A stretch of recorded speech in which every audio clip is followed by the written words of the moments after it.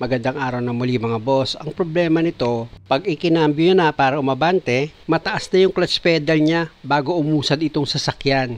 Pag ganun kasi mga boss, syempre naman mangangalay si customer. Kaya ang gagawin ko dyan, susubukan ko muna. Start ko muna itong makina.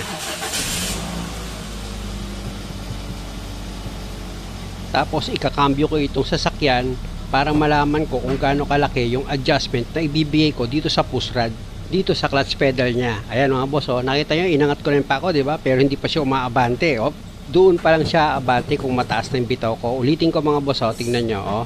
Ayan, oh, dahan-dahan ko ulit siyang bibitawan dito sa clutch pedal.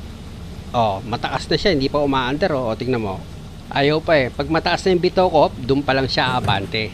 Kita nyo, di ba? Biglang umandar itong sasakyan. Pag ganyan mga boss, dito ako mag adjust sa push rod niya, sa clutch pedal Actually, yung nireklamo ni customer na medyo tumigas pa itong clutch pedal niya dahil nga sa itong adjustment ng clutch pedal masyadong mahaba. O, tingnan nyo, wala siyang ka-play-play. Kakapiranggut lang yung play niya pag tinapakan mo. Rinig nyo naman eh, oh. O, diba? Hanggang doon lang siya pag tinapakan mo eh.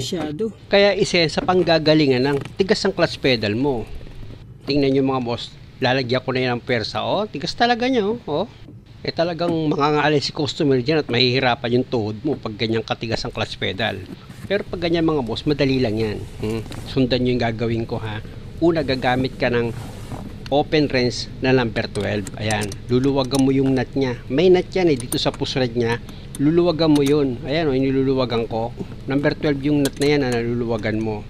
Pag naluwagan mo na yan mga boss, ha, pihitin mo ng kamay mo itong nut niya Siyempre naman, dapat paluwag ang gagawin mo sa nut. Luluwag mo pa rin yung nut, hindi pa higpit. Paluwag pa rin ang gagawin mo para magkaroon siya ng clearance.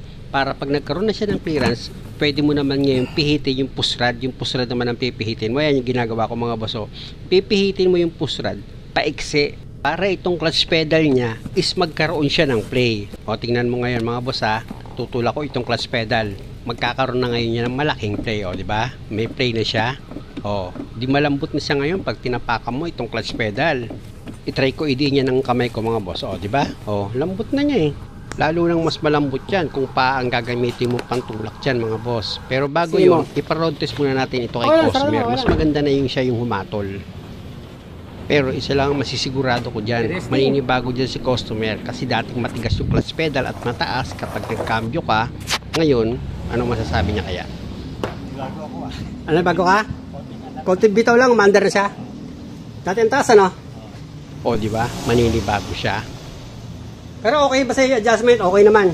Ha? Ha? Okay na? Kahit okay na yan kay customer, ipacheck ko naman kung wala bang sabit okay, sa pagcambio niya. Pag ano? Importante kasi yung mga boss. Kaya ang ginawa ko, pinaship ko sa kanya mula sa first gear hanggang sa pinaka last gear niya, pati reverse, yan pinatesting ko kung wala bang sabit pag nagkambyo. At dahil okay na siya mga boss, chinek ko naman ngayon yung taas niya ng pagbito ng clutch pedal. Kung compatible ba siya sa adjustment na inilagay ko. At ito nga mga boss, sabi ni customer, okay naman daw yung adjustment ko ng clutch pedal niya. Hindi naman daw masyadong mababa, hindi rin naman daw siya masyadong mataas. Kaya ang gagawin ko dyan mga boss, syempre yung niluwagan ko sa pusrad na number 12 na nut, hihigpitan ko na yon. Kailangan yun mga boss, pag nagluwag kayo, mailak nyo yun, mahigpitan nyo siya.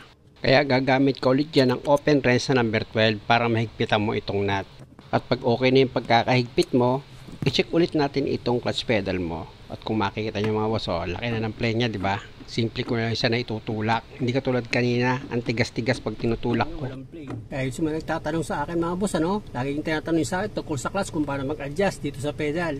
Ito yung sa gas, ito yung sa preno, ito yung sa clutch pedal. Oh, doon kayo mag-adjust dun sa ginawa ko.